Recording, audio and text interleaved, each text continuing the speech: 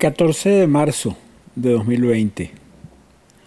Llega a Venezuela el terror del coronavirus, ya han aparecido un par de casos y ya existen las ordenanzas ah, de parte del gobierno de que permanezcamos en los, en los hogares, en las casas, y esto se puede extender por los próximos 14 días, con lo que un país que ha estado improductivo en los últimos años se somete sistemáticamente y nuevamente a estos procesos de inamovilidad porque para nosotros no es nada extraño el que eh, el, que no podamos salir a la calle porque de hecho hace cuatro años que no podemos salir a la calle porque la economía de la mayoría de los venezolanos de clase media ha, caído a niveles en donde es imposible salir a la calle a hacer nada porque no existe dinero para hacer nada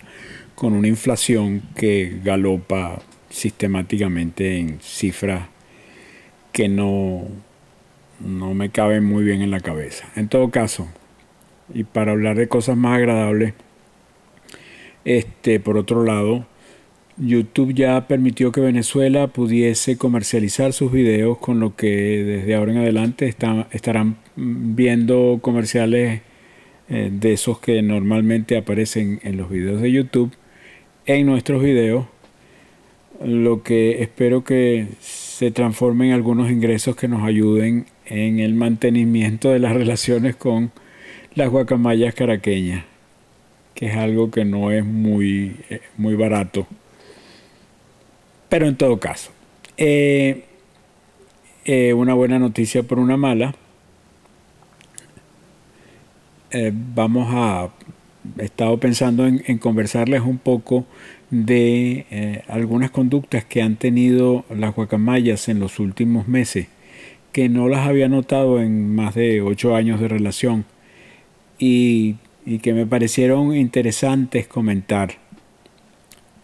y todo esto relacionado también un poco con un poco, un poco de revuelo que hubo en las últimas semanas producto de las ah, recomendaciones de algunos expertos eh, veterinarios eh, para que no nos relacionemos tan estrechamente con esas guacamayas porque eso lo que hace es facilitar la captura de esta para la comercialización y más allá de eso, hace unos días eh,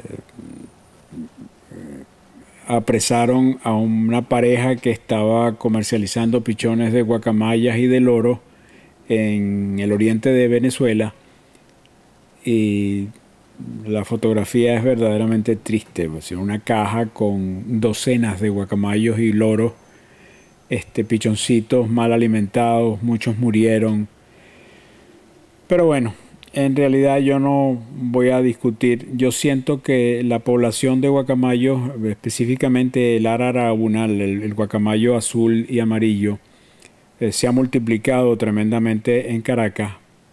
Es de lo único que puedo hablar con alguna propiedad. No, no estoy diciendo eh, que sea la última palabra.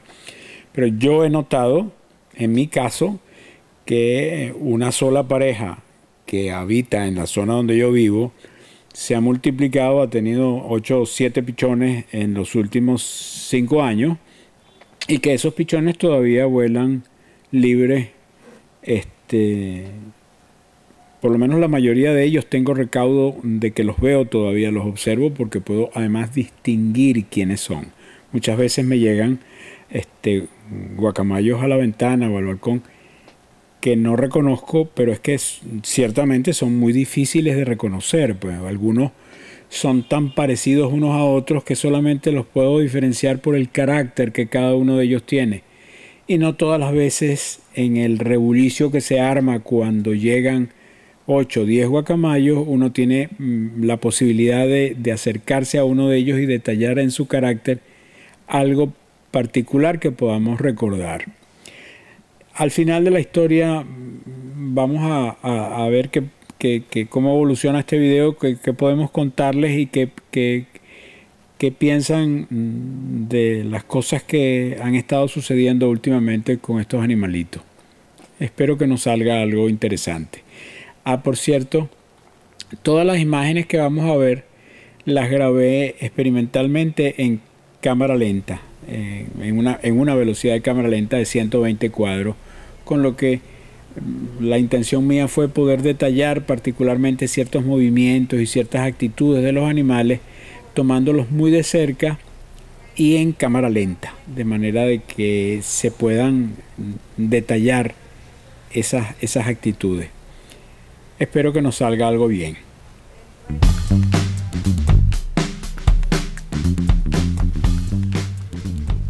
Esta, estas escenas adornadas con el Cerro del Ávila, el, el cerro, la montaña que distingue a Caracas,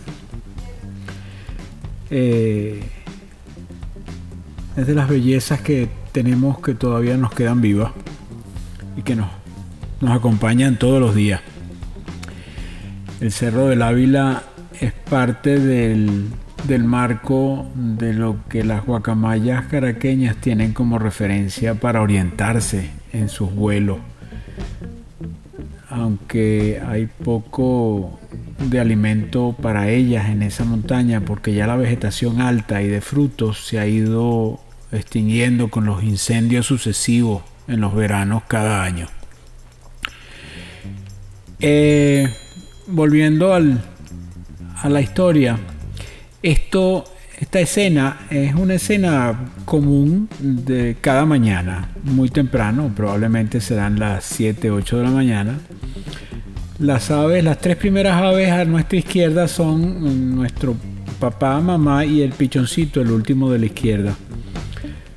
Las, las aves que son distintivas de nuestro vecindario. Ellos son los los dueños del sitio y cuando aves como las que están más hacia la derecha, las que estamos comenzando a ver ahora, cuando ese tipo de aves aparecen, y este es el caso, por ejemplo, este es una pareja también con un pichón, un pichón un poco mayor, pero sin embargo ahí se da cuenta de la territorialidad que hay en estas aves.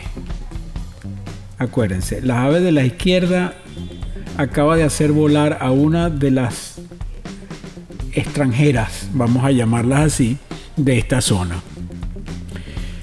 Estos tres pájaros, eh, eh, papá, mamá y este pichoncito que es la, la, más reciente de las crianzas y tiene a la mamá poniéndole, poniéndole disciplina al, al pichón, esa, esa patadita que le da es un poco la, la instrucción interpreto yo como quédate tranquilo que a ti te vamos a dar comida un poco más tarde en lo que comamos nosotros.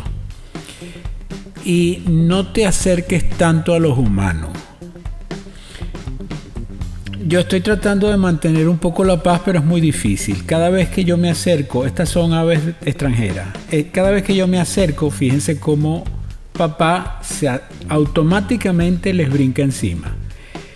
Él puede ser que se quede tranquilo mientras yo no los alimento, pero en el momento en que intento alimentar las aves que son de fuera de la zona, automáticamente él les brinca encima. Jamás tiene un acto violento conmigo, que soy el que les estoy dando la comida. Él jamás me ha agredido a mí, jamás me ha picado, jamás me ha, tenido un acto que no sea el de tomar con mucho cuidado el alimento que yo le doy de mis manos. Aquí tienen otras aves.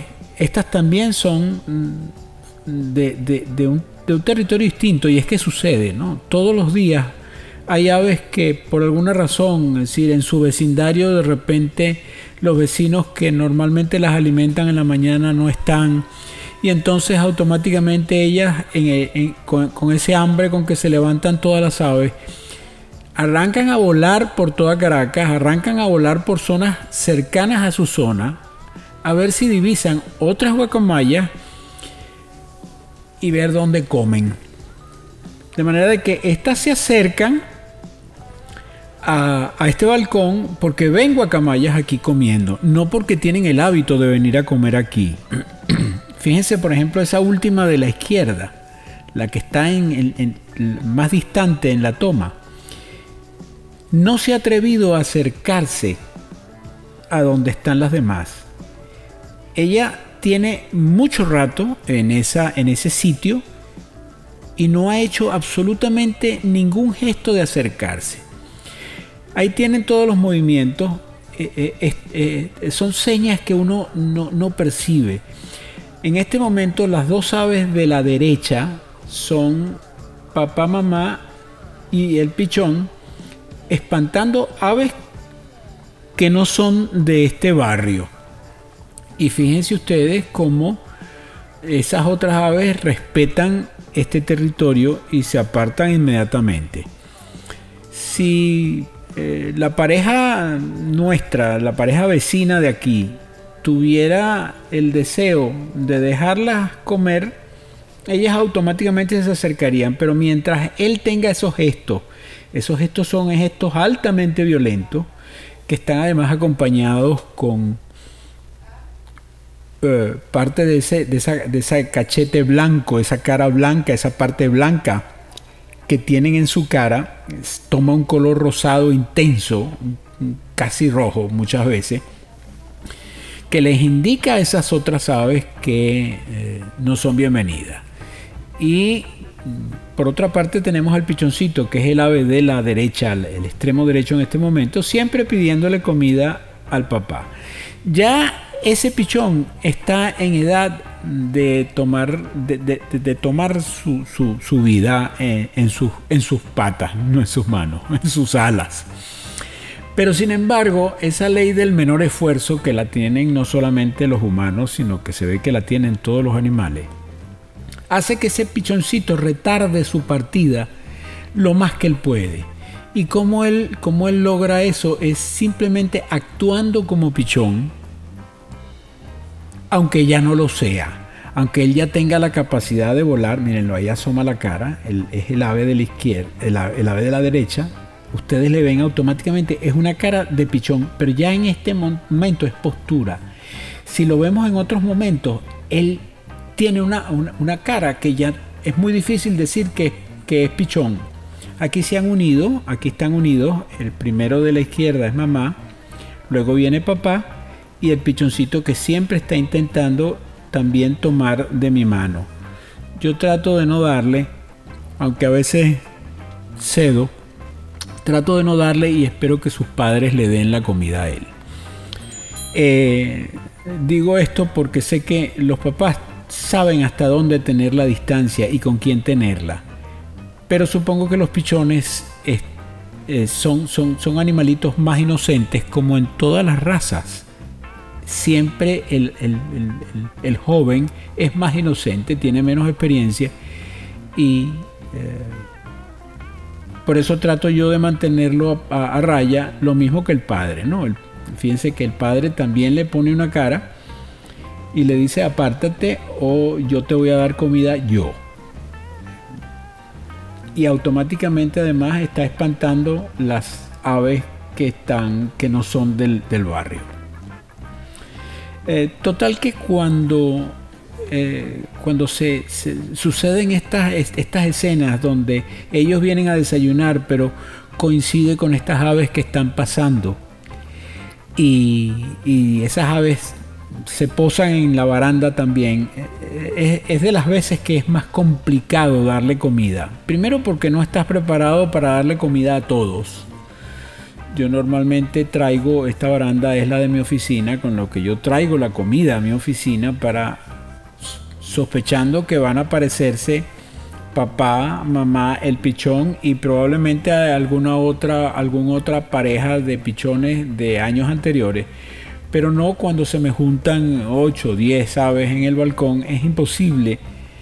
Tengo que empezar a reducir las, dosis de, de cambur, de banana que le doy a cada uno y automáticamente sé que se me están quedando con hambre todos, ¿no? Porque no traigo la cantidad suficiente para alimentar a 10, 12 aves. Además de que económicamente entonces me reduce la reserva en, y, me deja, me, obliga a tener, ahí está el pichoncito pidiéndole comida al papá y ahí está el papá haciendo el gesto. Ese gesto de movimiento de cabeza es devolviendo parte de lo que él ha comido, de lo que ya yo les he dado antes de que empezara a grabar. Y ya ese gesto de ese movimiento de estira y encoge de la cabeza, está indicándole al pichón que le va a dar de comida, con lo que el pichón automáticamente se pone en posición y vamos a ver esta escena en cámara lenta de cómo el papá este, le deposita una bolita de comida en el pico directamente al muchachito. Es una escena que no deja de fascinarme, me parece que es una de las labores más sacrificadas, eso de tener las aves que devolver la comida para dársela. Ahí está la escena. El movimiento, aunque lo está haciendo un poco tapado a la cámara, él está, ahí ven que está haciendo un movimiento. Ese movimiento es para devolver parte de lo que ha comido y el, y el, el pichoncito ya automáticamente abre el pico y se pone en la posición. Y papá le entrega un poco de comida, que además va con un sacudón, que supongo yo que mecánicamente garantiza que la comida le, le baja sin mayores problemas. Y por supuesto, el pichoncito jamás está satisfecho.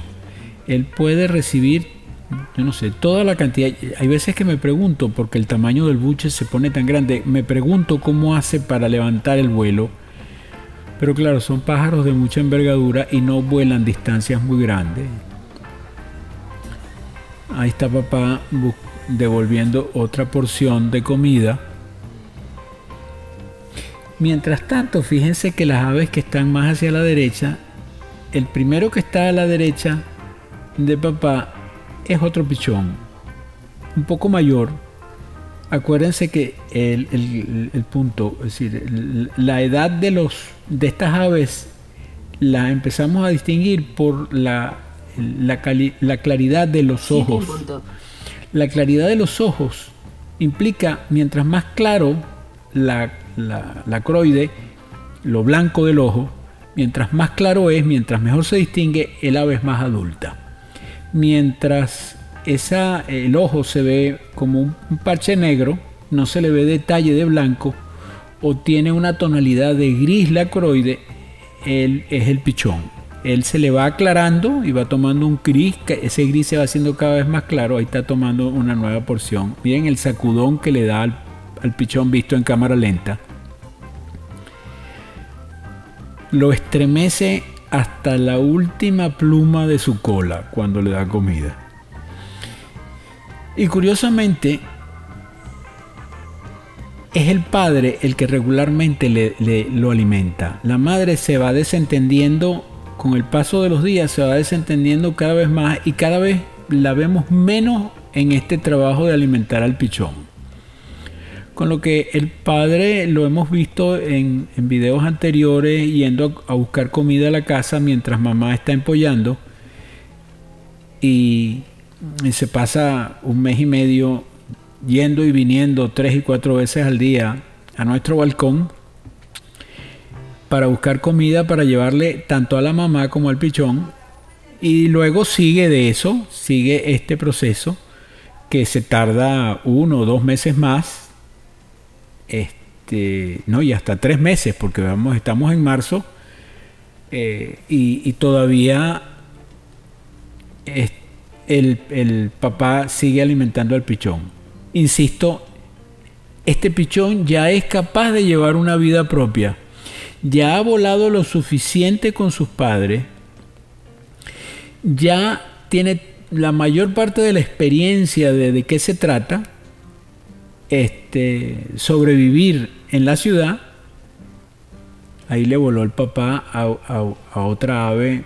Eh, esa partida del ave es, simplemente para volarle encima, fíjense ustedes por dónde va, y le está volando, y ese vuelo no es un vuelo en pareja, ese vuelo es un vuelo en donde una ave le está diciendo a la otra, vete, no te quiero aquí, Y sin embargo, pues por supuesto, el ave lo que hizo fue dar una vuelta y vuelve. Pero se van a dar cuenta en el video que el ave foránea va a subir al techo, no va a aterrizar nuevamente en la baranda de la casa. Mire que él va hacia arriba y papá regresa nuevamente a la baranda, que es su propiedad.